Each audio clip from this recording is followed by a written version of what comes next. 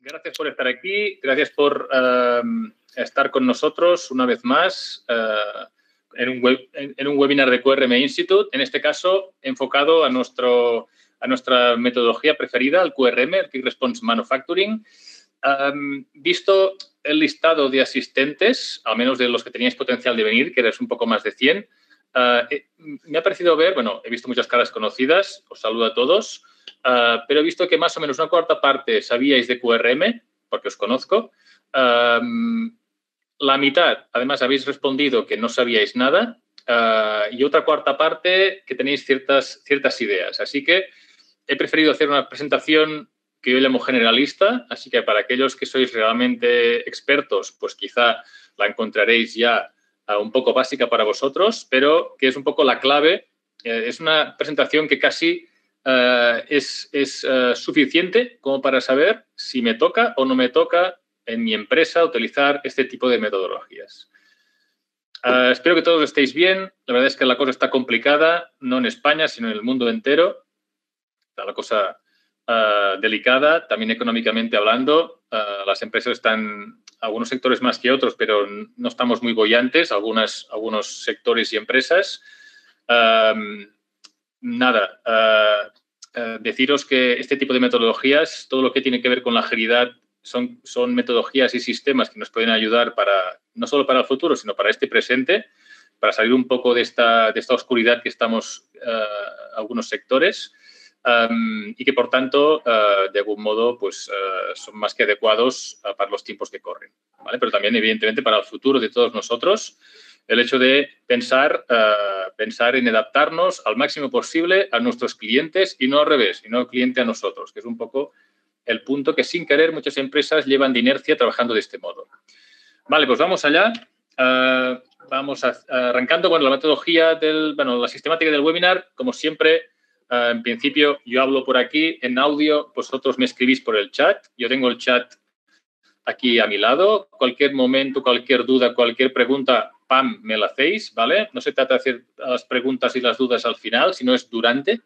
Si vemos que nos, uh, estamos un poco encallados por demasiadas preguntas, lo voy a comentar quizá y las vamos a concentrar o dejar más para el final, pero de entrada, abierto y lo que necesitéis y cuando tengáis la duda, la escribís, ¿de acuerdo? Pues vamos, allá. Uh, bueno, presentaros nuestras organizaciones por un lado tenemos QRM Institute, que es nuestra empresa madre, digamos, que pertenece al grupo de QRM Institute Europa. De hecho, no es Europa, porque ahora Israel y Rusia pues, uh, han entrado hace meses, época COVID. Por tanto, ya somos una, organización mundial. Uh, explicaros que es una organización enfocada a ayudar a las empresas digamos, a aplicar agilidad para poderse adaptar mejor a sus, a sus mercados, a sus clientes. Esto es QRM Institute. Y por otro lado tenemos Proach, que es uh, una, una, digamos, un, un satélite de, de, del propio QRM Institute, uh, que su propósito uh, es, es, digamos, está mucho más enfocado a las personas, QRM Institute quizá un poco más a los sistemas, pero en el caso de Proach su gran objetivo es conseguir que las empresas dispongan de equipos y profesionales altamente implicados. Es decir, agilidad por un lado, alta implicación por el otro, es la empresa perfecta.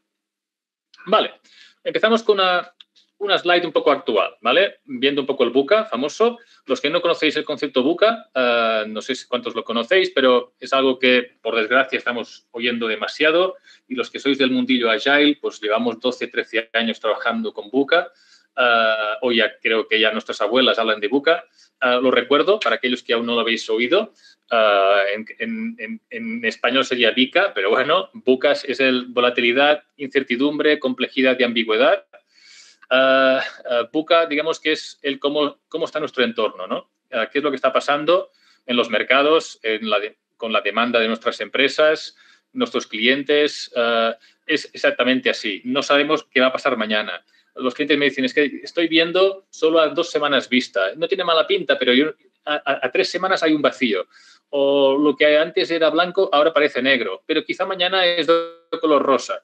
Um, y no solo eso, cada vez todo es más complejo porque hay más variables a controlar, más gente, más personas, más profesionales, pero también hay más, más uh, productos, hay más variedad, hay más opciones, hay más personalización, hay más procesos, máquinas, departamentos, áreas. Cogiendo todo esto, esto es complejidad.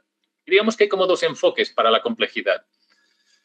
Un enfoque es el de intentarla controlar, el otro enfoque es de simplificarla. Ah, digamos que los sistemas clásicos, los clásicos sistemas y la clásica incluso consultoría a las empresas es intentando planificar, controlar, gestionar. Todo esto es, va, digamos, hace aún mayor esa complejidad. Porque todo esto no es gratis. Son personas haciendo cálculos, números, plannings, GANs, lo que sea. Los otros sistemas, Agile, la metodología de gestión de proyectos o la, filosofía, la cultura Agile incluso, que es algo más gordo, o el, el Business Agility, que es, digamos, más corporativo, o el propio QRM, evidentemente, lo que hacen es simplificar esta agilidad. Si, por un lado, la, perdón, esa complejidad. Por un lado, la, complejidad inherente a las personas, a los productos, a las opciones y a las variables que estamos gestionando, esta no la queremos limitar porque si la limitamos estratégicamente nos haremos pequeños. Por ejemplo, menos productos a vender, mal vamos. Lo que sí que atacan estas metodologías es al simplificar, es reducir el número de elementos que gestionamos a la vez. Menos pedidos a la vez, menos proyectos trabajando a la vez. No quiere decir que no haya más proyectos y más ideas o más pedidos o más gente pidiendo, pero es que en el momento que hago una foto solo veo unos pocos. Al trabajar en unos pocos, estos pocos son rápidos. Y como todo lo que hay que hacer está en marcha, no hay prácticamente gestión, ni seguimientos, ni reuniones, ni nada. Es por eso que Ah, he enumerado un poquito las malas prácticas, digamos, que van en contra de trabajar en Buca, ¿vale? Y que todas estas metodologías basadas en agilidad nos ayudan justamente a compensar. Por ejemplo, en un entorno Buca no podemos planificar.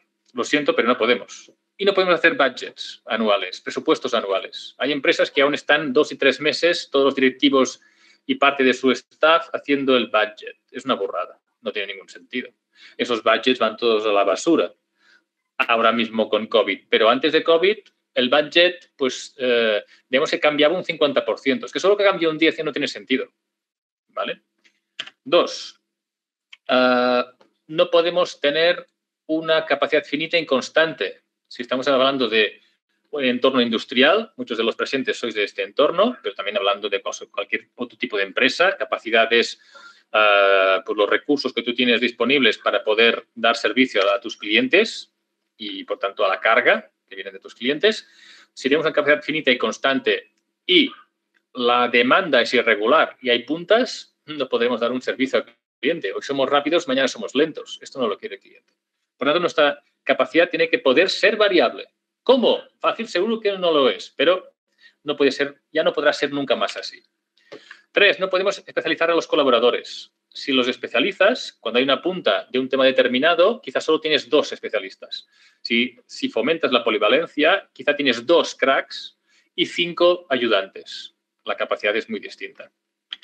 Cuatro, no, podemos no diversificar.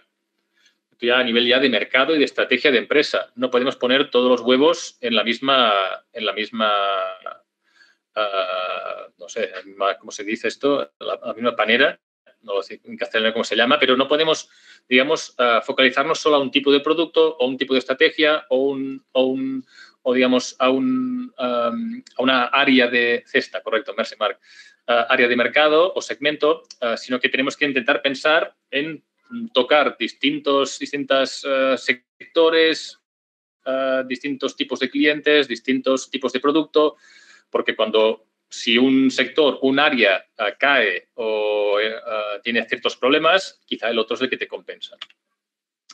cinco, no podemos no cambiar, tenemos que promover justamente el cambio, es importante. Luego, sí que hay personas que nos gusta más o nos gusta menos el cambio, el punto está en que tenemos que promover que la gente pues tenga la mente abierta, pruebe cosas, se equivoque, es importante que la gente, eh, si hay un entorno, por ejemplo, donde, donde los errores, por ejemplo, se persiguen o simplemente hay alguien que se enfada cuando hay un error, que parece algo muy lógico, pues las personas, la gran mayoría que no son muy, que no son muy valientes, pues no van a arriesgar, ¿vale? Y no van a hacer cosas nuevas. Y si no haces cosas nuevas, al final no cambias.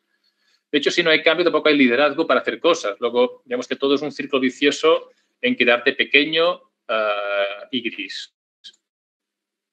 No podemos dejar nuestra empresa en manos conservadoras, tampoco en, locos. El punto está en tener un equipo directivo. Aquí es un equipo, no son directivos tomando decisiones a título individual, ah, sino un equipo de personas que juntos ah, y con datos toman decisiones, ¿vale? Pero con todas las energías. Tiene que haber un punto conservador, un punto ah, radical o de movimiento y el equipo tiene que tomar decisiones. Y último, no podemos intentar controlarlo todo desde, desde la dirección. En un entorno buca no tenemos que tener eh, cerebros activados en todas las áreas y cada una de las áreas debe ser eh, responsable de sus quehaceres. Lo que no puede ser es que eh, haya el, sistema clásico vertical y que todo el mundo de, ti para arriba tiene que estar enterado de qué haces, cómo lo haces y, y cómo lo deberías hacer. Esto es un error. En un entorno estándar siglo pasado, años 20 y 30 del siglo pasado, incluso hasta los 50, 60 tendría sentido. A partir de los 80 pierde mucha fuerza y en el cambio de siglo es una auténtica burrada intentar controlar todo, desde arriba de todo. Más que nada porque luego lo que nos pasa es que los altos directivos dejamos el plan estratégico, el futuro, la, la competencia, los mercados, los posibles COVID, todo eso lo olvidamos, no tenemos tiempo para ello y estamos en la trinchera controlando a la gente, cosa que tampoco ayuda a que estén implicados. Por tanto, visto un poco lo que tenemos entre manos todos eh, y visto lo que tenemos que dejar de hacer, y seguramente si hacemos un poco un autoanálisis, veremos que hacemos demasiadas cosas que están en esta lista. No sé cómo lo veis hasta este punto. Eh, ¿Estáis de acuerdo conmigo? Uh, ¿Vuestras empresas aún están practicando algunos de estos puntos que veis aquí en pantalla o no? ¿O cómo lo veis esto un poquito? De hecho, aquí hay todo tipo de empresas. ¿eh? algunas empresas sois muy, sois muy grandes, otros sois más pequeñitos. Pero mm, hay más, creo, pyme que nada. ¿eh? Matías, uh, dices que es cierto. ¿Cómo lo ves el resto? Hmm, Mar también. Sí, en Pharma cuesta. Uh, de hecho, Pharma es de, es de, lo menos buca que hay, como lo es o lo era la automoción. Pero bueno, cada vez, digamos que el COVID también nos afecta bastante a todos. Uh, mientras estéis calentitos y con pocos cambios, el buque os afecta poco. Luego, esos puntos de ahí aún los podréis uh, perseguir y podrían llegar incluso a medio funcionar. Pero bueno, en la parte humana ya no. ¿eh? La parte humana, las personas ya no queremos buena parte de esta lista. Vale. Javier, vale. Los no por los sí. Sí, Enrique, pero se trata de de no de mm, invertir la vida en hacer un budget, sino que es hacer un budget muy a grosso modo. Es un budget que en una tarde está hecho para una empresa muy grande. Una tarde, ¿eh? eso es un budget. Un budget, digamos, uh, en un entorno buca, un entorno agile. Hmm. Sí, el aeroespacial también es verdad que, que el buca también afecta menos, pero pero, por ejemplo, las, las, uh, como en automoción aún tenemos grandes lotes, en, en, en, aeronáutico, pues la verdad es que tampoco tenéis grandes lotes y ahí sí que la parte de agilidad muchas veces uh, os puede ayudar muchísimo. Antonio está en los 80, muy bien. Uh, Jordi, sí, en automoción aún sois muy clásicos, pero también hay de todo. ¿eh? Vale, también hay empresas, de hecho, que trabajáis, los, de, los de nivel 2 uh, eh, y algunos de nivel 1, trabajáis en automoción y en otras áreas y en otros sectores. Si estáis en equipos, por ejemplo, o fabricantes de maquinaria, estos son ultra mega buca. Luego también depende de cómo diversificas, ¿no? Un poco. De hecho, tengo clientes que tienen automoción para pagar los sueldos y trabajan para el sector industrial para tener beneficios. esto es así. Eh, apretáis mucho en automoción. Vale, este sería un poco el punto de arranque, ¿vale? Nos vamos a ver un poco el QRM, si os parece. Con vuestro permiso. Una frase antes de nada para empezar, un clásico que pongo siempre en este tipo de webinars, dice, decía Einstein, hay muchas maneras de perder el tiempo, pero ninguna de poderlo recuperar. Uh, ya sé que es muy obvio, uh, dice que hace esta frase aquí. Esto lo pongo porque en las empresas, uh, si os fijáis, tenemos una, un enfoque demasiado acentuado en la gestión de los costes. Pero no solo aquellos que tenéis una estrategia basada en, la reducción de costes mm, ya, definida. No, en general. Y hablo de Europa, no hablo ni de Turquía, ni de China, ni de... No, no, aquí. Ah, ¿Qué quiere decir eso? Yo analizo una empresa y veo que tenemos, por ejemplo, unas, unas áreas mm, afines a negocio que lo que intentan hacer es que las ventas aumenten, por ejemplo, comercial, Uh, y lo que intentan es que la parte positiva de la cuenta de explotación sea máximo, mm, genial. Pero luego veo que todo el resto de departamentos y, operaciones es el gran departamento de la empresa industrial delante de todos ellos, que lo que intentamos, lo que intentáis o intentamos es gastar lo mínimo posible, es hacer lo que se está vendiendo gastando lo mínimo. Luego, sobre el papel, si un, grupo de profesionales maximiza los ingresos y un grupo de profesionales minimiza los gastos, lo que yo tengo es la, mejor, ¿no? el mejor rendimiento para mi empresa posible. Pero esto es sobre el papel. Esto, si mi entorno, mi demanda es tranquilita y es al menos previsible, no diré que sea regular o plana, pero como previsible, yo sé lo que me va a venir, si es así, eh, yo realmente puedo gestionar eh, en este, este, tipo de estrategias eh, apretando los costes y, mi capacidad y mis recursos y mis máquinas y mi todo. ¿Por qué? Porque es exactamente lo que voy a necesitar. Dejo lo justo y con ello funciona todo. Pero ¿qué pasa si mi entorno es irregular? ¿Qué pasa si mi demanda es, eh, yo no sé qué va a pasar mañana y pasado? ¿Qué pasa si me llamará un cliente mañana que quiere algo que nunca he hecho? ¿Lo puedo prever? No es imposible. Luego, ¿puedo yo tenerlo todo apretado? ¿Qué pasa si de, golpe entra un gran pedido y no tengo capacidad? ¿Qué tengo que hacer?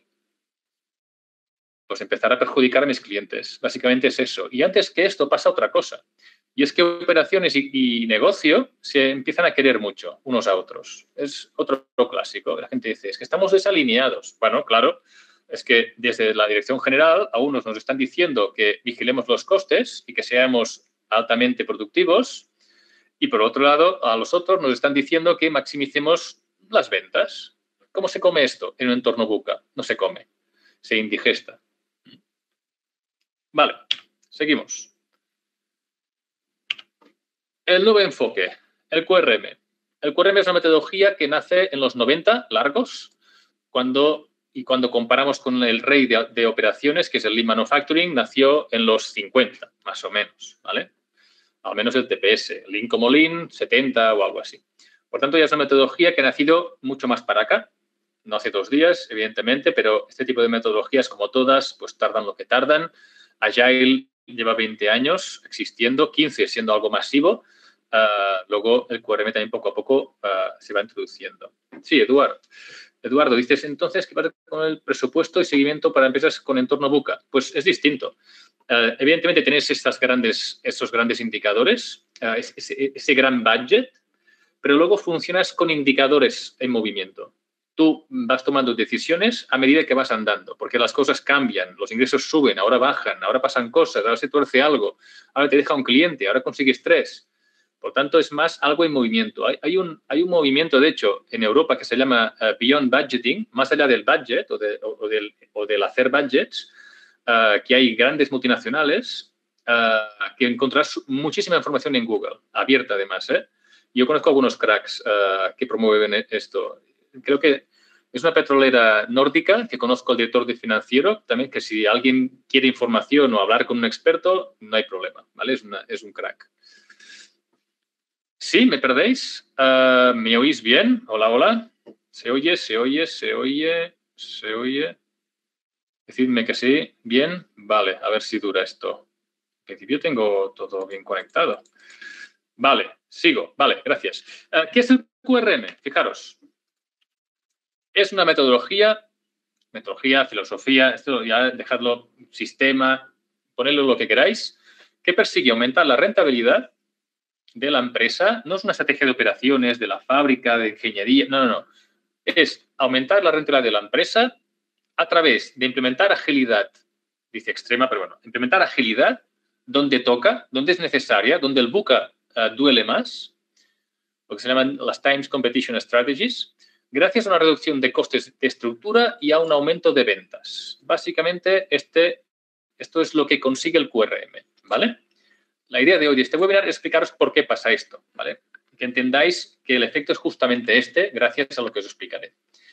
Dice, y el objetivo para conseguir este resultado es solo uno, que es una reducción total y sistemática de los lead times de, todos los procesos, al menos aquellos donde el cliente ah, interviene, donde le afecta.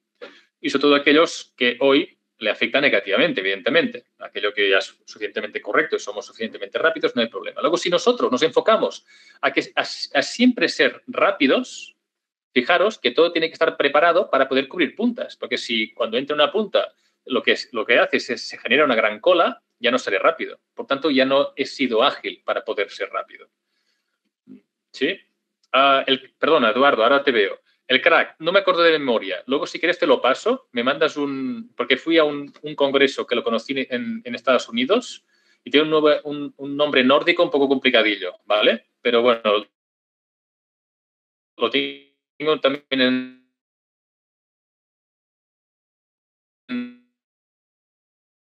conectado en LinkedIn, así que lo, lo pilláis. Más. ¿Cómo podemos ganar competitividad a través de una reducción de los lead times?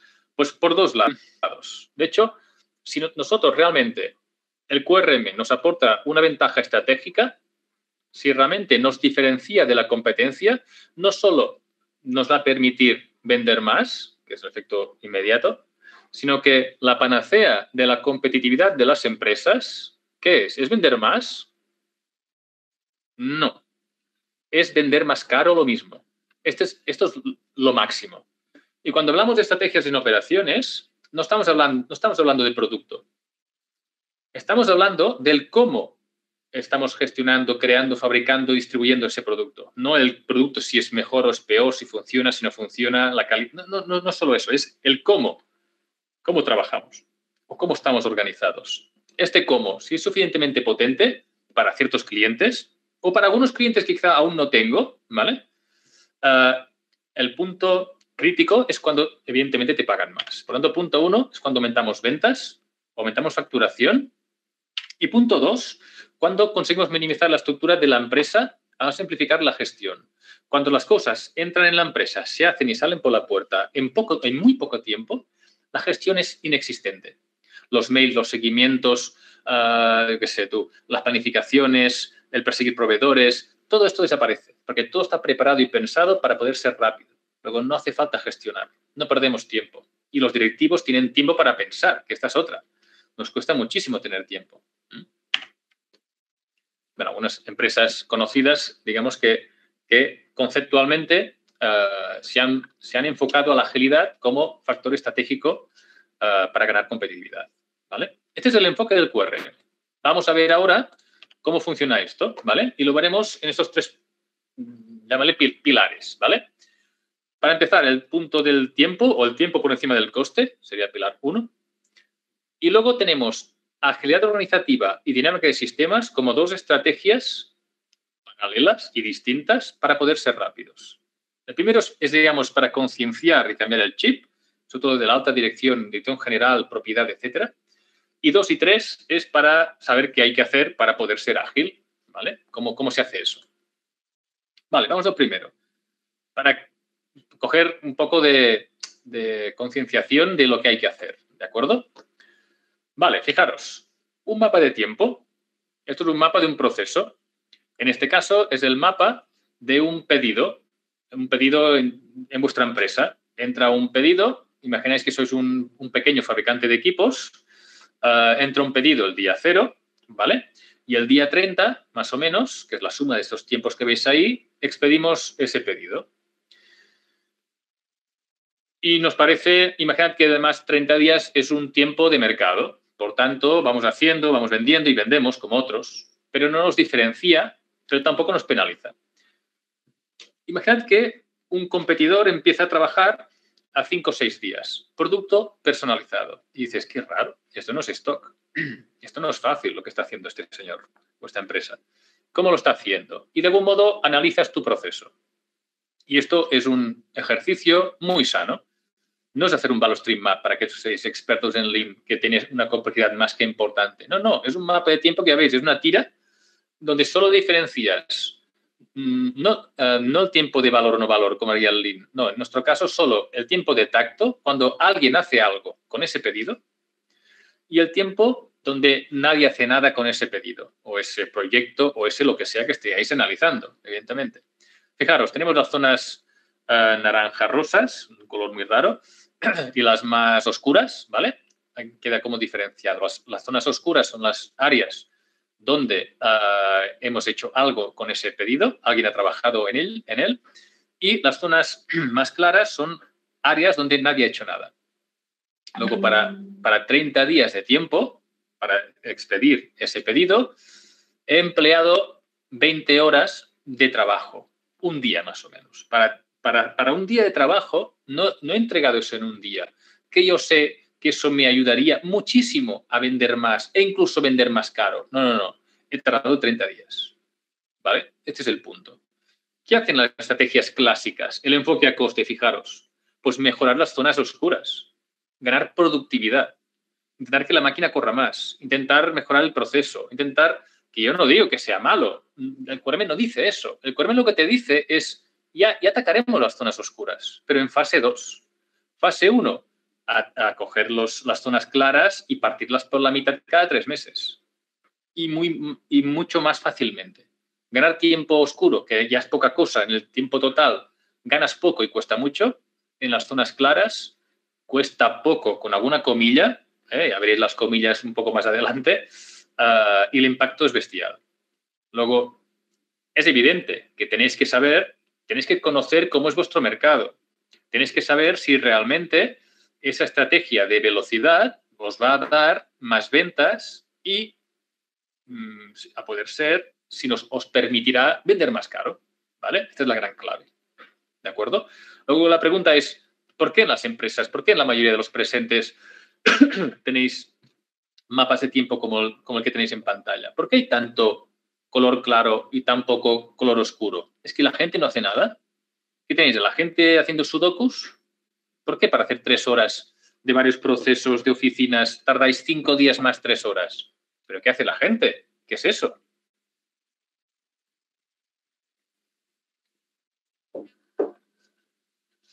Burocracia interna. No tanto, Daniel. Mark, sí. Exceso de carga. Es lo que pone Mark. También habrá burocracia interna, ¿eh, Daniel? Pero sobre todo, ¿qué quiere decir exceso de carga? Lo que dice Mark. Correcto, ahí está Javier no hay un pedido. Esto es una foto de un pedido, pero si cuando haces una foto estás trabajando en 100 pedidos, o en este caso, ¿veis que hay una relación de 1 a 40? Perdón, de 1 a 30. Ah, lo digo bien, a ver, 20, no, de 1 a 40. Hay una relación de 1 a 40. Pues si hay una relación de 1 a 40, es posible que haya más aproximadamente unos 40 pedidos vivos a la vez. Por eso hay una relación de 1 a 40, ¿lo veis? ¿Sí? Luego, ya veremos más cosas, ¿eh? No es tan fácil y no solo eso, pero si en lugar de 40 pedidos estuviera trabajando en 20, ¿cuál sería mi lead time?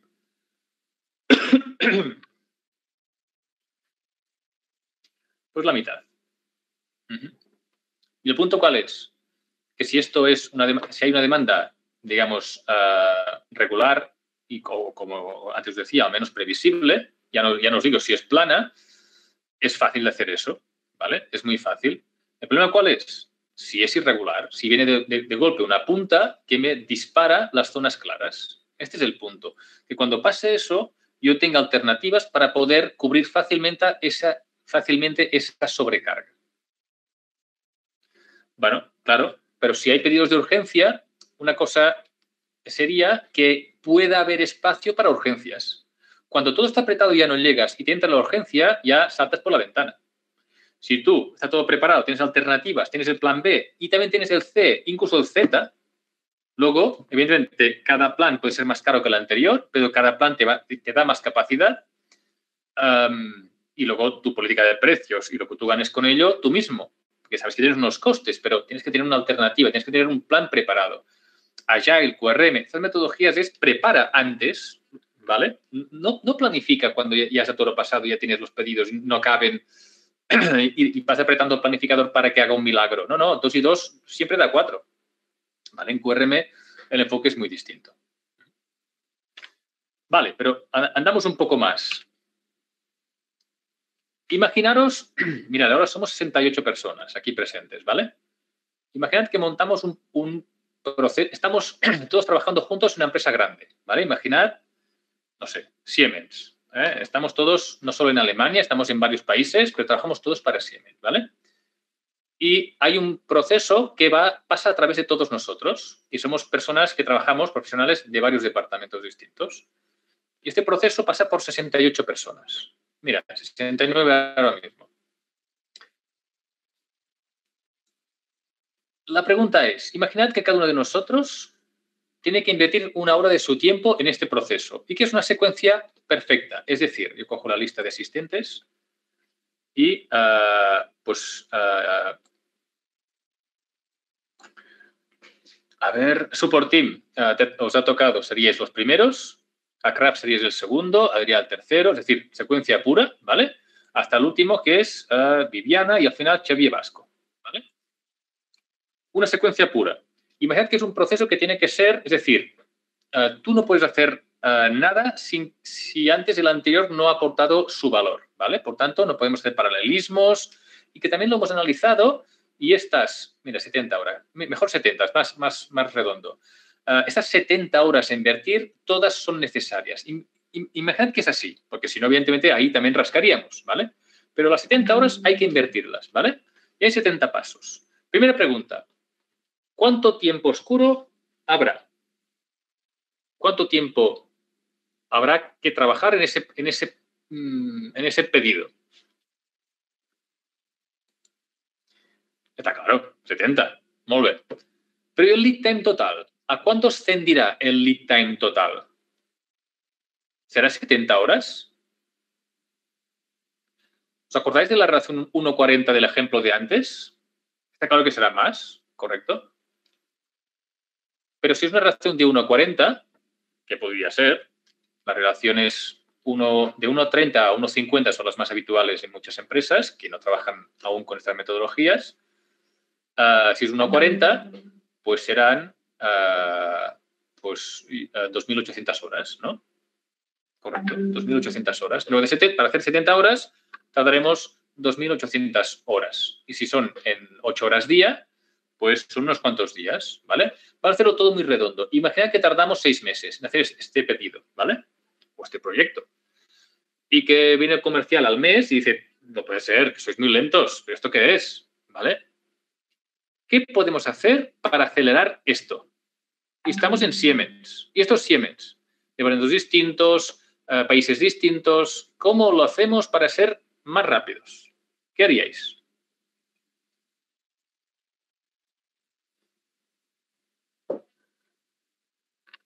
y no podemos trabajar en paralelo. Todo es una, secuencia pura. Lo pongo ya un poco en absurdo, ¿eh?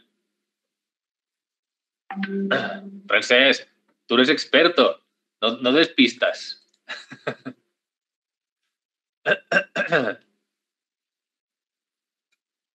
Uy, perdón, me ha saltado. Espera. ¿eh?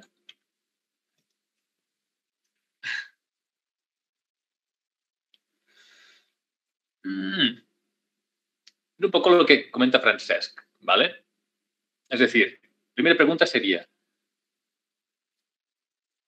mm, sí, Daniel, pero bueno, os cojo un poco de varios de vosotros, ¿vale? De algunos de vosotros. El punto es, primera pregunta, ¿por qué tiene que haber 70 pasos? ¿Os fijáis que cada paso es una cola? Cuando te llega un mail, que te lo acaba de mandar ahora mismo, Eva, por ejemplo, te mando un mail, Eva, ahora mismo, y tú estás trabajando en tu lugar de trabajo, lo dejas todo y te dedicas a mi email o estás haciendo otras cosas? ¿Verdad que estás haciendo otras cosas, tú y cualquiera?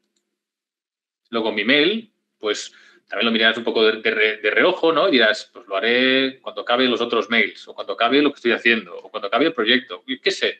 Y cuando puedas o, toque, tienes tu cola personal, quizás son dos, tres días. Si son tres días, que es una cola normal para algo no urgente, uh, que decir también que tengas tres días, que si no te entra más trabajo en tres días quedas parada, ¿eh? También es eso, ¿eh? Tú, un operario, un ingeniero y quien sea.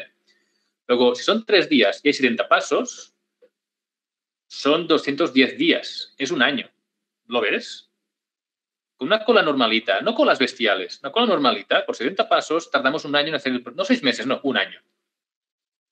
Luego, el punto es, no podemos trabajar con tantos pasos. No podemos. Luego, la primera estrategia del QRM es una doble estrategia, porque hay esos dos pilares. El primero, que tiene un coste cero en el bolsillo, pero un alto coste aquí arriba, ¿vale?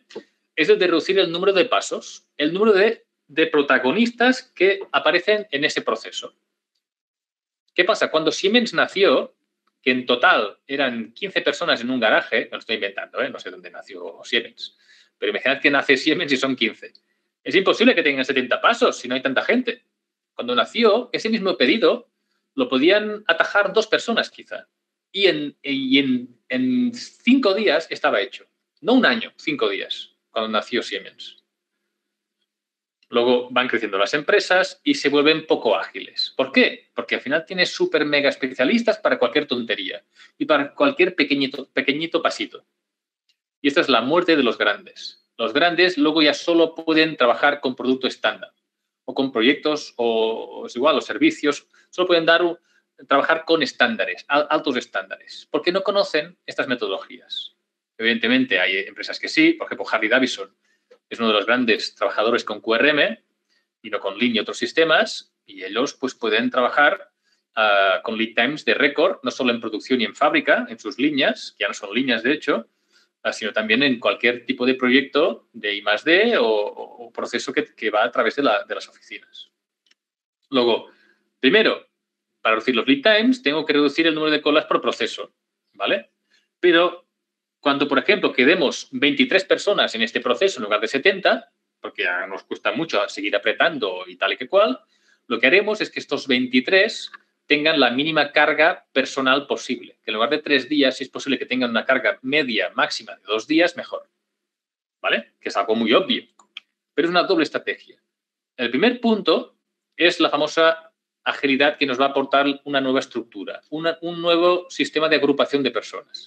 Y el segundo punto nos lo va a aportar la dinámica de sistemas, que es la base matemática, son las famosas teorías de colas. Es como, por ejemplo, como, Barcelona tiene, tiene eh, pues, eh, organizados eh, los, tiempos de los semáforos. Es lo mismo, ¿vale? Teoría de colas. ¿De acuerdo? Y por tanto iremos al, al, pilar 2 y al pilar 3. Vamos a por el 2, ¿vale? La parte de agilidad organizativa ágil. Y aquí incluyo también la parte de personas, ¿vale? Para empezar, si nos fijamos un poco en la realidad de hace, como antes decía, medio de broma y medio de verdad, años 70, 80, poca competencia, cargas bastante regulares y bastante, bastante lineales, yo podía tener mis uh, super especialistas, cada uno tenía lo suyo, las horas estaban bien calculadas, la job description está bien identificado todo, y, cada día aportando valor al cliente, ¿vale? Hoy, como todo es tan cambiante, tan cambiante, yo no puedo trabajar así. De hecho, ah, si yo quiero reducir los lead times y yo quiero, por ejemplo, tratar menos pedidos a la vez, yo no podré seguir trabajando solo con especialistas. ¿Por qué? Porque si mi demanda es cambiante en cantidad, seguramente también lo es en tipología de trabajo y de pedido y, de producto, etcétera, etcétera. Por tanto, es posible que en un momento determinado tenga yo mucha carga en un tipo de profesionales o en un tipo de técnicos o en un departamento determinado, ¿verdad que sí? Por tanto, imaginad que tengo un departamento de compras con tres personas y hoy hay una carga para seis. ¿Qué hago? Si estoy en la izquierda, pues me aguanto. Creo una cola que me duplica, ah, me, me dispara al doble los lead times. Pero imaginad que es un tsunami que me entra por ese lado y luego se va a fábrica y ahí también hay solo 10 operarios y hay carga para 20. Pues lo mismo, super cola. Luego ese pedido no es que solo haya generado una cola por donde entra, genera una cola por donde pasa. Y no solo eso, sino que todo lo que convive con ese pedido o ese, o ese proyecto o ese lo que sea, también va lento, porque va en la misma cola. Los recursos son los mismos para todos. ¿Lo veis? Como es, una, es un ciclo vicioso que hace que todo se dispare y luego se genera la necesidad de tener más gente, más jefes, más gestores, más planners, más PMs, más de todo, que es un coste que ya ni pensáis en ello, ya forma parte del paisaje. Yo tengo tres planificadores, pues eh, son necesarios, pues no. Lo necesario son cero planificadores, señores, en un entorno QRM. ¿Qué vale eso? Y muchas más, muchos más costes que tienes por ahí. A la, a la derecha que tenemos sistemas, digamos, más de network, ¿no? Más de red, tampoco tiene, eso parece ejército de Pancho Villa, no, no, es eso. Las estructuras son, tienen un orden, un orden y un sentido, lo que os lo enseño, ¿eh? algunas un poco más elaboradas. Ah, pero en cualquier caso, mi, mi, gente está abierta y es mucho más polivalente, porque debe ser más polivalente. Cifras muy rápidas de las personas, porque tiene una incidencia en eh, cómo gestionamos y organizamos la empresa con la gente, con las personas. Fijaros, uh, la mitad de las personas buscan, buscan trabajo, de las que están trabajando. ¿eh? Es decir, si estamos en las medias, estas son cifras mundiales, sobre todo de Europa y Estados Unidos, si estáis en las medias, vuestras empresas, quizás estáis mejor o peor, la mitad de tus compañeros buscan trabajo. Esto es, bastante malo. El, solo 21% de los líderes, muchos de los aquí presentes sois líderes, creo, uh, estáis reconocidos. De los 68 presentes, pues mira, solo tenemos a 15. Los otros 50 somos unos desastres. El 60% de, las personas, de los profesionales les faltan medios para hacer su trabajo. Ah, el 66% de los que cambian al final, y se van, lo han hecho por culpa de una mala relación con el jefe, con ese líder, o ese no líder, seguramente también. Ah, el rompedor del todo, el 15% de nuestros compañeros están muy implicados, horrible también, y el 41% les falta claridad, definición de qué hay que hacer. Esta es la realidad de las empresas. Esta es un poco, un poco la pregunta que habéis en la cabecera, ¿no? ¿Sabemos gestionar personas? De hecho, ¿sabemos gestionar empresas? ¿Cómo lo hacemos para gestionar las empresas? ¿Realmente estamos preparados? ¿Conocemos la, naturaleza humana? ¿Sabemos qué es lo que implica las personas? ¿Sabemos, sabemos todos qué es los motivadores intrínsecos de las personas? ¿Conocemos los estilos de liderazgo compatibles con la motivación? ¿Conocemos, sabemos cómo crear equipos de alto rendimiento y sobre todo alta responsabilidad y madurez? Todos estos conceptos no los hemos estudiado y es horrible. Esto debería estar, eh, ya, ya no digo en la universidad, debería estar en el bachillerato. Son puntos críticos para conseguir que las empresas anden y funcionen. Uy, este no tan gordo, Pedro, que es que no lo hemos hecho, que no estás de acuerdo, Muy gordo este, ¿no? ¿eh? Ah, que no sabemos. vale. vale, por tanto, esta es un poco la foto de lo que tenemos hoy en, las empresas. Mirad otra foto. Ese 15% que habéis visto de, personas altamente implicadas a nuestro alrededor, si lo distribuyo aquí, ¿vale? En una pirámide organizativa, porque la mayoría ah, estamos organizados por pirámides, ¿vale? En plan directivos, mandos intermedios y ah, base, ¿Quién crees que está más motivado la realidad? ¿Arriba, en medio o abajo?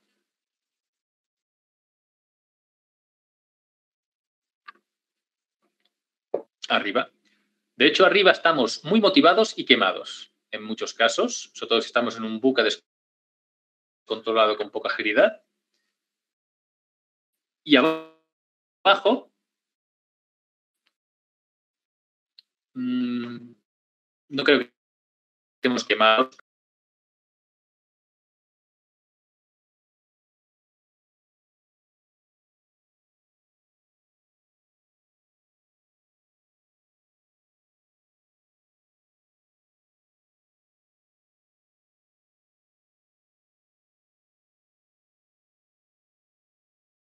12. Que abajo las personas pueden decidir cómo hacer las cosas, pueden cambiar su realidad, pueden tener recursos para cambiar no sé cuántos, pueden tener eh, buen soporte, pueden tener acceso a la formación, pueden, pueden decidir, correcto, Mar.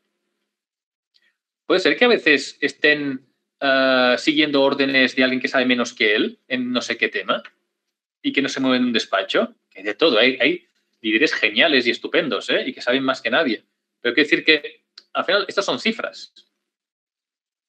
Y hay que poder darle a esto. Las empresas ágiles huyen de la pirámide organizativa. Y esto es algo que al mando intermedio pues no nos no gusta, porque pierdes ese poder. En una empresa ágil, el directivo pasa solo a función estratégica, que es lo que nunca hacemos. Pensar en el futuro, en la nueva fábrica, en la competencia, en las buenas prácticas, en el SAP que tengo que buscar una alternativa que no sé cuántos, en ir a ferias, en, yo qué sé, en formarme, eh, en conociendo mejor los clústeres donde podría interactuar. En esto es dirección. Y marcar la dirección, no el detalle, la dirección. Y la parte operativa, que la gente que estaba en nivel organizativo se, se reintroduce en el nivel operativo, algunos como líderes, son los que tienen, son los que tienen la gran responsabilidad del hoy, del día a día. Cuando la gente nota y percibe que son realmente los responsables del día a día, la energía ya, solo por eso aumenta. La pregunta, ¿no? ¿Nos podemos permitir equipos de baja implicación? Y repito, en el entorno no buca, mm, casi sí, a menos a nivel, por ejemplo, de producción, porque son como robots. De hecho, un entorno no buca, en nada pondrás un robot. Pero un entorno buca, una empresa que tiene un buca delante de la nariz y tiene que hacer productos personalizados e inventar la rueda cada dos por tres, no puede poner robots. ¿Y qué necesitas? Personas activadas, con el cerebro, a tope, que sienten que esa es su empresa también. Este es el punto. Este es el enfoque QRM para aportar esa agilidad organizativa. Fijaros, punto uno, lo hemos hablado un poco, reducir los pasos y los protagonistas en los procesos de la empresa. Esto, por fuerza, os va a enfocar a ganar polivalencia y no es pim pam fuera en muchos casos. ¿Vale? Dos, antes decíamos que estamos en Siemens 70 personas, ¿os acordáis? Y que pasábamos a 23, me lo, he, inventado. Imaginad, lo, pongo un poco menos bestia. Imaginad que podemos reducirlo todo a 7. Es más, que siete personas polivalentes hacemos ese proceso, como hacía Siemens cuando nació, casi casi, ¿vale? Y que además tenemos una carga ya casi para los siete, solo con ese tipo de proceso, sea el que sea, ¿vale? El punto dos es que intentaremos que estas siete personas vivan juntas, no en el mismo piso o casa, sino que en el trabajo las sillas estén juntas, ¿vale? Por tanto, fijaros, los departamentos funcionales tienden a desaparecer. ¿Mm? ¿Por qué? Porque una función es un pedacito de la experiencia del cliente. Un pedido va a través de varios departamentos, ¿sí o no? Va atravesando. Cada vez que entras y sales de un departamento hay colas. Cada vez que vas a una persona nueva hay colas. Cada vez que bueno, y cuando cambias de departamentos hay además enfoques distintos y estrategias a veces distintas y prioridades distintas. Esto es un atraso. La máxima agilidad, velocidad y responsabilidad es cuando tienes un equipo de personas de todo tipo, quizás hasta exdirectivos, no sé quién sea, que juntos hacen que ese proceso sea la bomba, sea rapidísimo y el cliente queda ultra contento. Y además el QRM y Agile intentan que este tipo de células se queden enfocadas, si puede ser, al mercado. No internas de la organización o mirando a un jefe, que es lo que hacen los sistemas piramidales. Y tres, y ahí voy. Una vez vas creando ese tipo de células y vas de algún, modo desmontando departamentos, la forma que tendrá tu, tu, tu estructura organizativa, tu, tu organigrama, no tendrá nada que ver con las pirámides. Verás que tienes más un sistema más radial, más circular, más de clientes externos e internos, que no un sistema de arriba abajo que está simplemente es un sistema eh, jerárquico que marca un estatus y está basado básicamente en el control de las personas. ¿Visto? Fijaros un ejemplo de lo que estoy diciendo. ¿eh?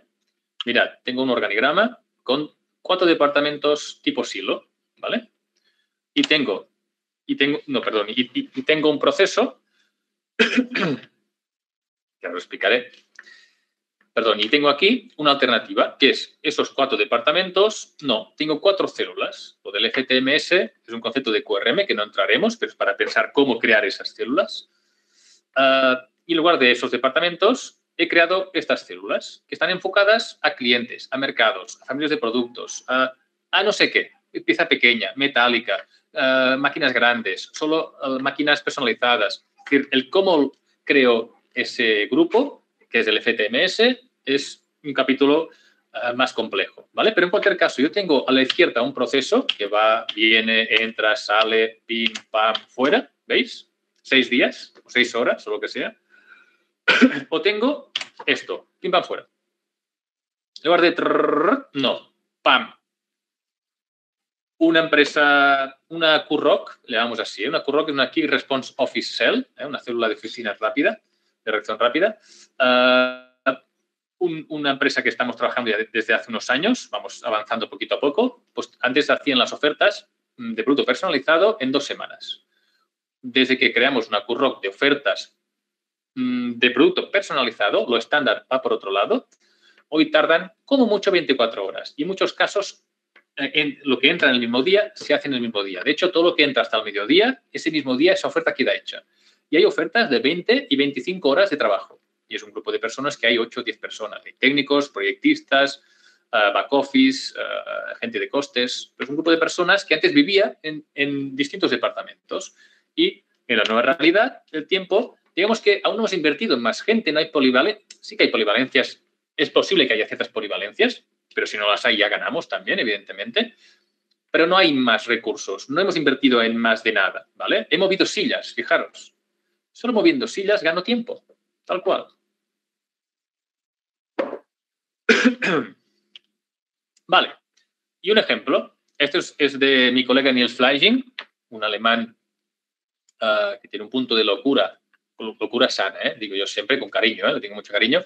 Esto es lo que él llama una estructura melocotón a dos niveles. Aquí tenemos pues una, serie de células en el exterior ah, que están, fijaros, están mirando hacia afuera, al outside, que pone, y una serie de células en la parte interior. Pregunta, fijaros lo primero, ¿eh? que la empresa no hay personas solitarias, individuales. Todo el mundo está en un equipo o en otro. Esto es otro concepto agile. Nadie decide nada solo. Y todo el mundo trabaja en equipo, directivos incluidos. Esto es uno de los puntos importantes, porque el criterio es mucho mejor en un grupo que tú solo, si eres quien seas, aunque seas casi Dios. La pregunta es, lo primero, ¿qué hay fuera? ¿Veis que el outside, qué hay ahí? ¿Qué hay en este organigrama, en la parte externa?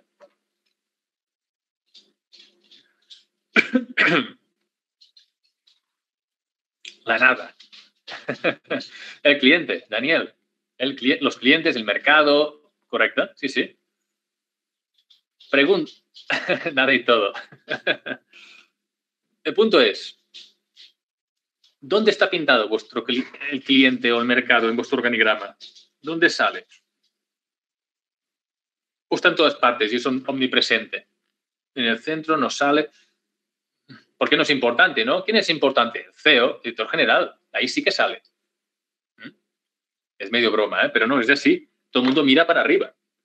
¿Dónde mira el equipo este de aquí?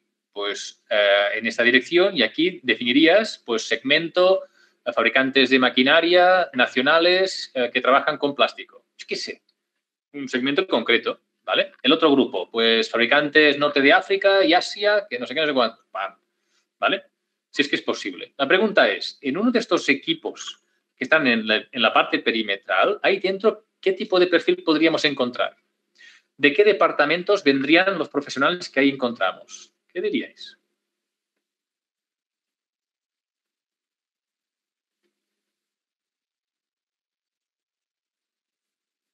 Ventas.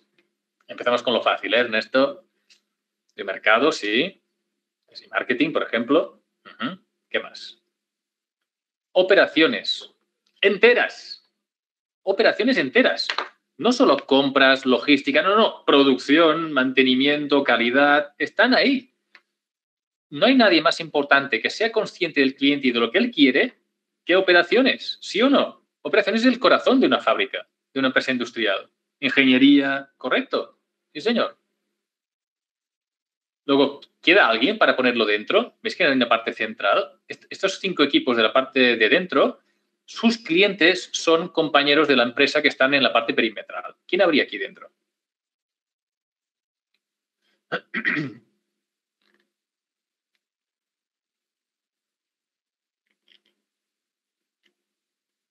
Los directivos, bien escondidos, que no vean al cliente que la lían. ¿eh? Son, son terribles los directivos. Administración, Uh, back office, no. Back office estaría junto a los comerciales. Calidad, sí y no. Por ejemplo, un soporte ISO, quizás sí.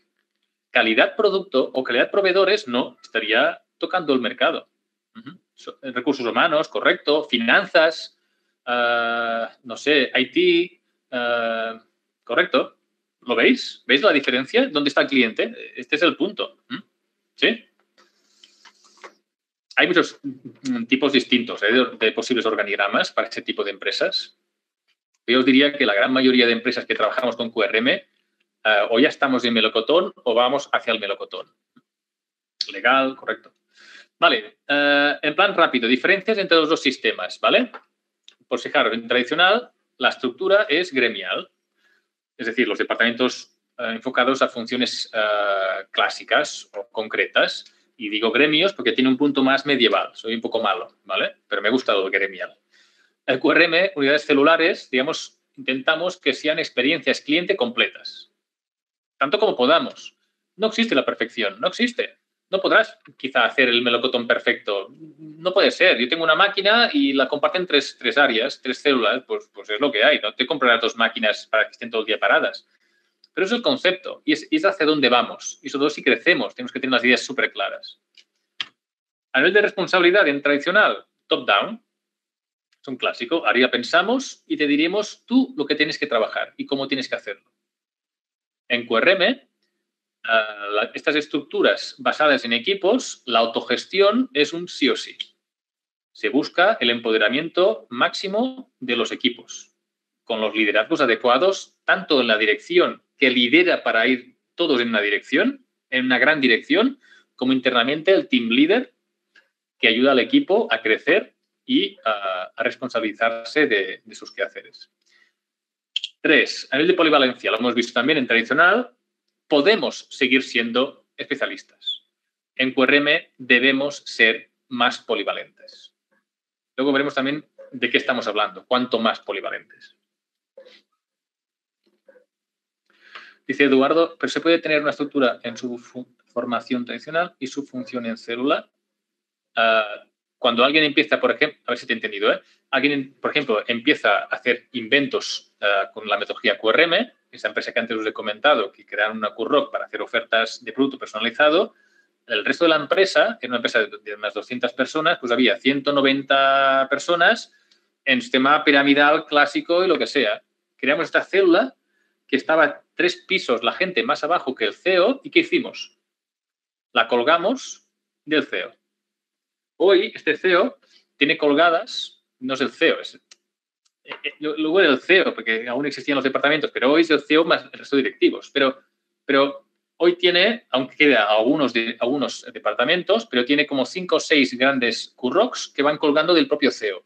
Y no le dan tarea, no le dan trabajo, porque son altamente autónomos y tenemos un sistema además estratégico eh, que se llama Hoshinkanri con OKRs implementado en la empresa. Todo, ya va bien alineado y la gente sabe lo que debe o no debe hacer se te he contestado.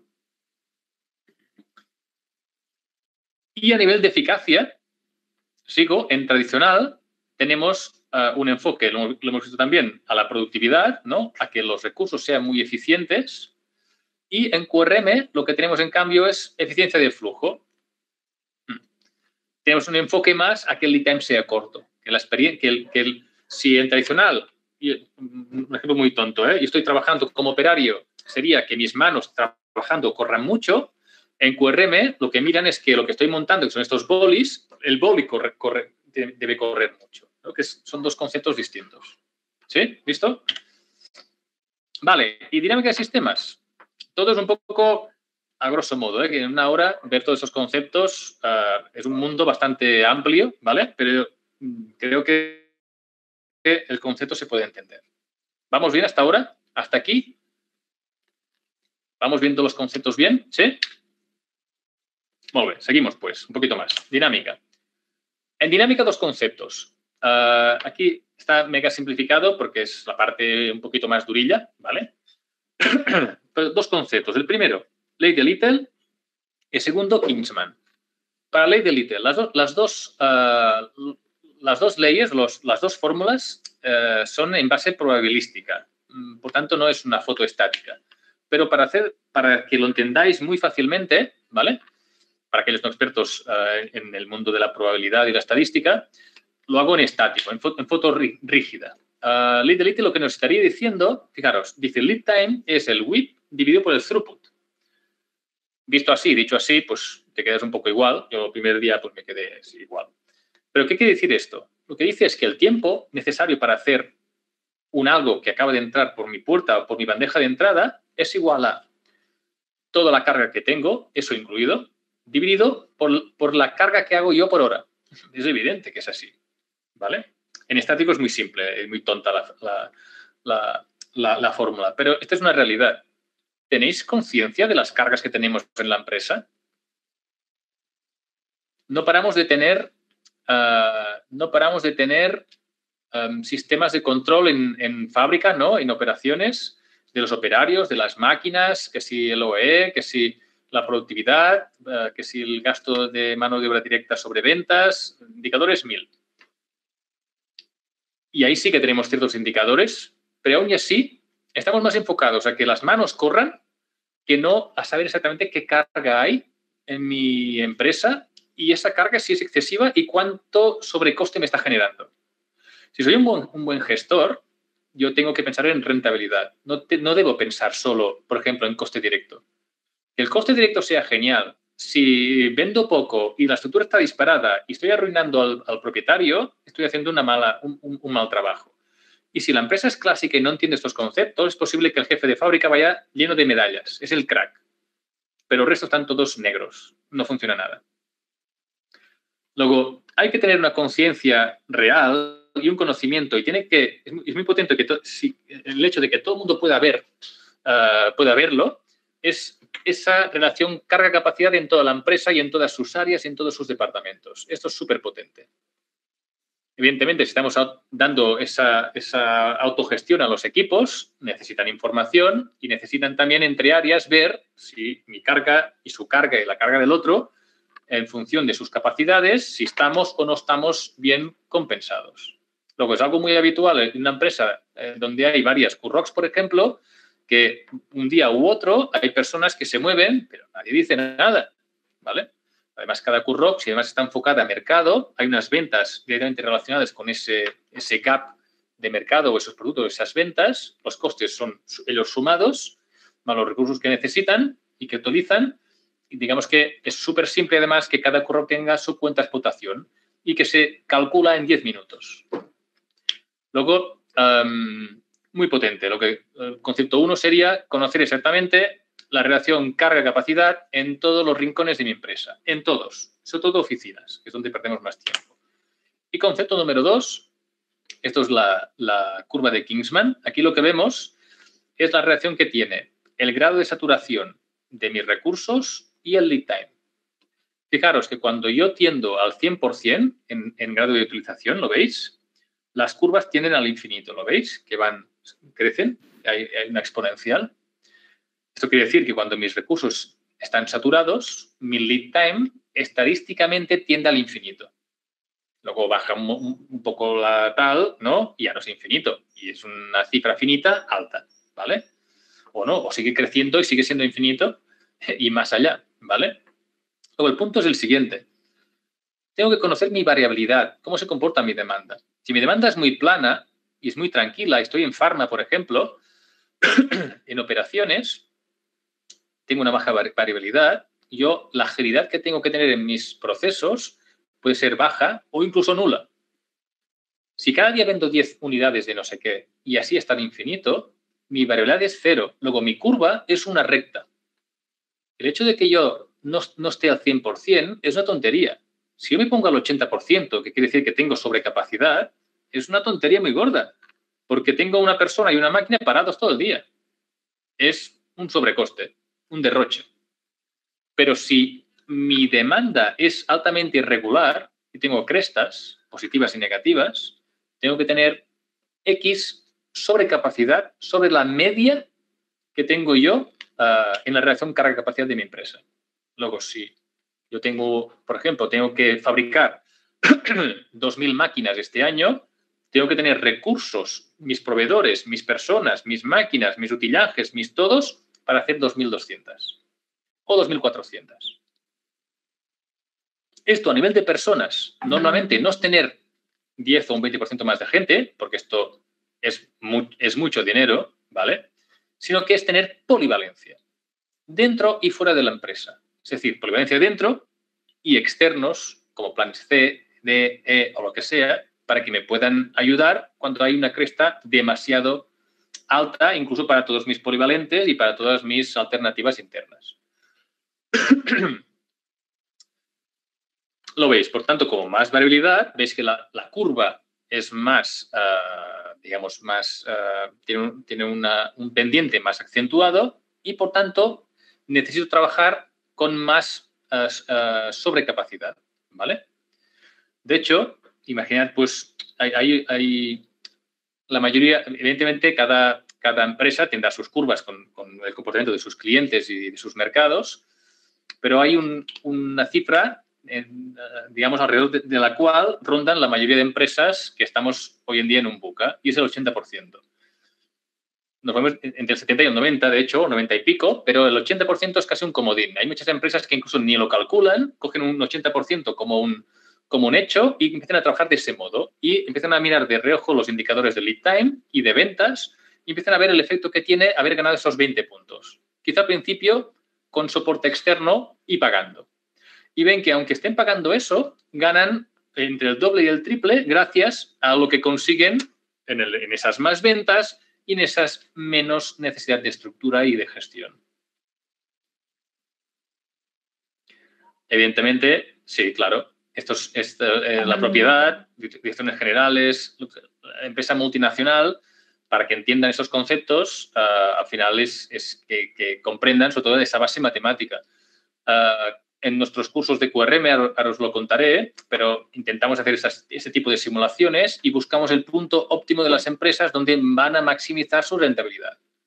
Luego, ese editor general, si quiere seguir apretando los costes directos para perder más dinero, es quizás el gran jefe puede hacerlo, pero cuando ve que posicionándose en un punto de, de más sobrecapacidad puede ganar pues 3, 4, 6, 7 puntos más de vida, pues se lanza.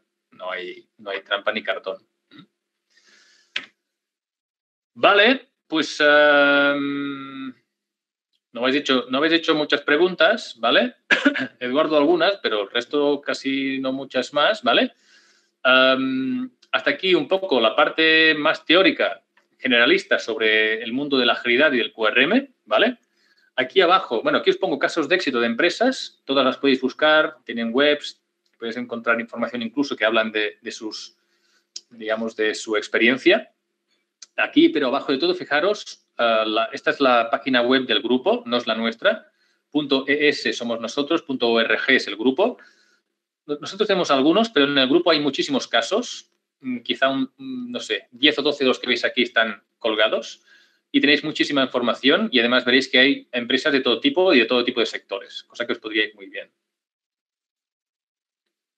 Sí, Eduardo, os ayudamos a que podáis calcular ese punto, ah, digamos, de utilización óptima. Evidentemente, depende mucho de la información que tienes, sobre todo de la parte de las más ventas. Es la parte más difícil, que realmente tu equipo de negocio te pueda, de algún modo, ah, darte una relación directa entre menos lead time y más ventas o, más, o mayor precio, evidentemente. La parte de costes es la fácil, tanto directo como estructural. ¿eh? Vale. Em, si queréis saber más, os dejamos aquí pues, los dos libros que tenemos que utilizamos en la empresa. El de QRM es el de la izquierda, de Rajan Suri. Eh, la producción es cuestión de tiempo. Y el de la derecha es un, es, digamos, es más completo a nivel de, digamos que incluye la parte de QRM, la parte de Agile en proyectos, la parte de, liderazgo de este tipo de equipos, en este tipo de entornos, creación de equipos y la parte cultural. El de la izquierda es más para expertos a la hora de implementar estas metodologías en la empresa. El de la derecha es más para ah, personas más generalistas, altos directivos, que necesitan saber exactamente la foto total, qué es lo que me va a pasar y por dónde van a ir los tiros. Y sí, a nivel de formación, como sabéis, QRM Institute nos dedicamos a, la formación. Por un lado tenemos el programa QRM Silver, tenemos el Silver y el Bronce. Eh, el Bronce es automático y, empezará a, rodar a partir de noviembre, calculo más o menos. El Silver es en grupo cerrado y multiempresa. Uh, es, blended, es decir, es eh, con lo del COVID, toda nuestra formación o es online o es blended. En este caso, el Silver es Blended, es 10 uh, uh, módulos online asistidos y luego hay un fin de semana uh, con toda la parte de, simulaciones y toda la parte más de juegos y de, experiencias prácticas, por un lado. Al otro lado veis el Liderazgo Omega. Es un programa, es un PDD, es un, programa de desarrollo directivo dentro de, de una realidad Ah, no solo buca, no solo aplicar agilidad, sino para crear esos entornos de alta implicación y para poder tener el liderazgo este de, de tú dar soporte a los otros y los otros crecer como líderes. ¿no? Es el liderazgo, de hecho, que todos queremos. No queremos que nos manden, ¿eh? no, queremos que nos ayuden. Ah, y el liderazgo Omega, por otro lado, nos ayuda en la parte pues, cultural, eh, organizacional, la parte también de estructura organizativa, ah, la parte, ah, digamos, más de crecimiento personal y de liderazgo propio y de creación de equipos. La parte del Silver es más la parte que llamamos nosotros de Harvard, que es más la de creación de, este, de esos sistemas y los pilares que habéis visto hoy en el webinar. Y por último, ya os presento también, porque empieza, como todos los másters, ahora en, a finales de mes, el máster en dirección avanzada de plantas industriales, blended también, ah, que de hecho incluye el Silver y el Omega y bastantes conceptos más. De hecho, está el, Lean ah, Management Institute, está el TIWI Institute también, ah, tocamos certificaciones también Six Sigma, lo que es el Yellow, y juntos hemos creado este máster con la UDG, la Universidad de Girona. es un blended, de hecho hasta febrero es online puro, por, repito, por COVID, y a partir de marzo hasta julio, eh, cada mes y medio hay fines de semana con simulaciones, lo mismo que el Silver, otra vez con toda la parte práctica que es prácticamente imposible de poder replicar online. ¿Vale? Y, poco más. Gracias por vuestra paciencia. no sé si tenéis preguntas. Vamos a poner un, gap de, preguntas. Hacedme preguntas, por favor o todo está súper mega claro, es que no me lo creo. Ah, ¿Qué preguntas tenéis? ¿Cómo lo habéis visto? ¿Lo veis algo posible ah, ir en esta dirección? De entrada, ah, dejando aparte algunos sectores como farma y automoción que hemos visto pues que el book aún está un poco controlado, pero el resto, en Latinoamérica no, no tenemos instituto. De hecho, existió un instituto en México, pero que estaba vinculado a una universidad en el norte. No me acuerdo el nombre. Ah, es la, la, politécnica, más potente que está en México, pero no me acuerdo exactamente el nombre. Ah, pero, colgaba directamente, digamos, de, de Rajan Suri, ¿eh? el creador de la metodología, hace mucho tiempo antes de que existiera el QRM Institute como, como tal. Sí, Mar, este es el punto. Ah, de hecho, lo que nosotros intentamos, cuando intentamos ayudar a la empresa, es eh, que el director general se lea el, libro de la derecha, el director de operaciones se lea el de la izquierda, si es posible que operaciones haga el silver, o si realmente hace falta, depende del, del pueblo que, tengamos, que tengáis con las personas, pero también os puede ser potente el de la derecha. y, y luego la gente la, alta dirección tiene claro lo que, lo que necesita la empresa y luego es cuestión de tiempo, no, no hay más. Mark, en una industria con poca variabilidad de productos, pero demanda incierta, ¿se vería por igual definir estas áreas, estas células, perdón? Eh, sí, de hecho, ojo, ¿eh? porque incluso, ojo los de farma y automoción, al oro, con el comentario que os daré ahora, en oficinas es buca en esos sectores y en todas partes. El, book, la necesidad de Currox es universal la necesidad de crear células QRM en planta productiva e, es, depende de la, de, la de la demanda, pero la demanda interna de unas oficinas, que todo el mundo está interconectado, siempre es buca, siempre lo es. Por tanto, pensar en Currox es un sí o sí. Siempre tus clientes estarán mejor atendidos y siempre tendrás, serás más rápido en acabar un proyecto de más de, un, nuevo, lanzamiento, acabar un proyecto de mejora continua, ah, arrancar una nueva máquina siempre. En, hacer las nóminas, no sé, es que al final es todo, ¿eh? Uh, Marc Cotonat. Uh, un QRM en farma complicat, pero, por ejemplo, tendría sentido introducir en I+D només? Sí, de hecho, el QRM en I+D se llama Agile. Uh, tiene un nombre, ¿vale?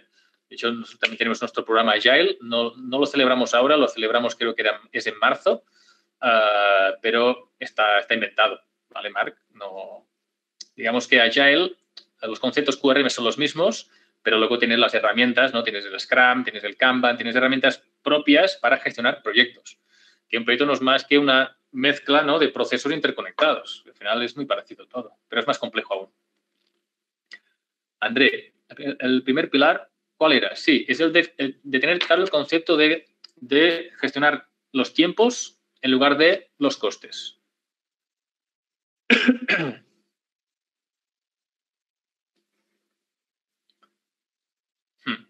correcto.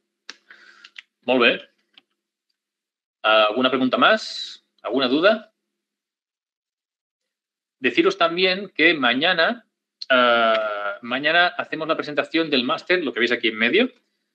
así que si alguien duda, tiene alguien en la empresa que sería potente que tuviera todos estos conocimientos y más, todo lo que hay detrás, y que, o que al menos queréis desde recursos humanos o como profesional saber qué, es la, qué potencia tiene un máster como estos, pues podéis venir mañana, que hacemos la presentación y entenderéis el por qué ah, funciona también un máster como este en un momento como el que estamos, como el que estamos viviendo. Uh, usuario dice, ¿es posible que una misma persona pertenezca a varias células QROX? Y tanto. Sí, pasa mucho. De hecho, en las QROX, este tipo de equipos que creamos, estimado usuario, las personas no tienen job description, las personas tienen roles. Luego hay personas que tienen un rol minoritario en los equipos, pero sumando todos los equipos, esa persona pues tiene trabajo para todo el día. ¿Vale? Por ejemplo, un, coach, pongo un ejemplo un poco tonto quizá, pues este coach podría pertenecer a, cinco células distintas. ¿Mm? Mark, dices, ¿cómo distingues eh, qué fabricar antes o después si la, si la fuente, si la fuente, eh, si la fuente viene de distintas, si la fuente viene de distintas células. Ah, bueno, de hecho, en QRM es que no he entrado en fábrica, si te, fijas, he hablado del concepto general y fábrica es como un, tema aparte. En fábrica tenemos un sistema que se llama Polka en el, universo de agilidad y, QRM, que es un sistema que, convive con el ERP, el ERP que tengas tú en tu empresa, Ah, y que es un sistema que te ayuda a regular el flujo de tus procesos entrecruzados. Y es una forma, es decir, el RP no desaparece en, un entorno ágil, pero es una forma que tienes tú para poder minimizar uh, lead times dentro de un entorno complejo físico, no, no, no de oficinas con correos electrónicos, no, no, físico. Francesc, gracias. Un mateix. Vale, si no había leído el final. Dices, si utilizas una misma línea automatizada de producción. el punto es, hay dos pilares, Mark. Imagina que tú tienes una línea, una sola, que va al 70%, ¿vale? O que va al 100% o que va al 120%. Son tres fotos distintas. Si tu línea va al 70% y todo pasa por ahí, será rápido siempre, porque hay sobrecapacidad. Y además, como es una línea que lo hace todo, no hay varias máquinas que tienes que ir saltando, no es producción discreta, es continua, pues a la que entre ya sale por el otro lado. Es súper rápido. Si tu línea va al 100 y la demanda es plana, no hay problema. Será rápido. Ponte al día y luego a la que te entra un pedido ya lo metes en máquina. Ya sale por el otro lado y sin parar, 24 horas al día. No hay problema. Si, si es al 100, pero tu demanda es irregular, tienes problemas. Vas a empezar a tener problemas, a disparar los lead times y a perjudicar a los clientes o a tener que poner stock que tiene un coste. Y si todo es estándar, puedes hacerlo. Si no lo es, no puedes tener stock. Si vas a 120, en ningún escenario vamos bien, evidentemente. Por tanto, ¿qué, ¿qué, hace falta ahí? Ganar capacidad en más máquina, o más turnos, o si estás al límite, otra máquina. Sí, Polka, tal cual. A tú, Susana, merci.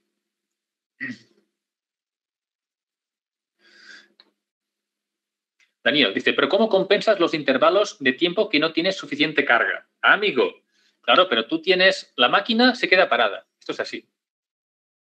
Pero tú calcula, es, el tener esa máquina un poco más parada, esa más amortización por repartido por pieza, compara eso, compáralo con tener muchos planificadores y menos ventas. ¿Qué es mejor? Pongo un ejemplo. ¿eh? Esto es la máquina. Y dos, la persona. Hombre, si todos seguimos siendo especialistas, mal vamos. Te doy la razón, problemón. Mejor tener sobrecarga, incluso el de los tornillitos tendrá trabajo.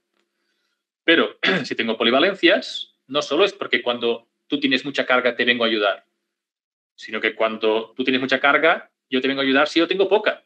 Y yo, al saber lo tuyo, puedo moverme también. Por tanto, no perdemos dinero en tener a alguien parado.